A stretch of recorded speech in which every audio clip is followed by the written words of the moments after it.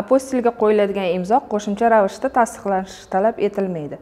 Apostil rasmiy hujjatlar imzolagan mansabdor shaxsning imzosi haqqiyligini imzolash vakolati mavjudligini hamda hujjatni tasdiqlagan muhr yoki shtamp bosma izi haqqiyligini tasdiqlash uchun rasmiy hujjatlarga qo'yiladi.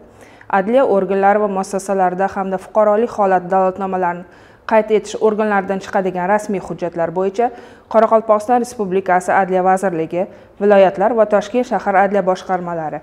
Sudlardan chiqadigan rasmiy hujjatlar bo'yicha oliy sud prokuratura tergov surishtiruv va tergovga qadar tekshiruvni amalga oshiruvchi organlardan chiqadigan rasmiy hujjatlar bo'yicha bosh prokuratura ta'lim va fan sohasi tashkilotlaridan chiqadigan rasmiy hujjatlar bo'yicha vazirlar mahkamasi huzuridagi ta'lim sifatini nazorat qilish davlat inspeksiyasi boshqa rasmiy hujjatlar bo'yicha tashqi ishlar vazirligi tomonidan tasdiqlanadi.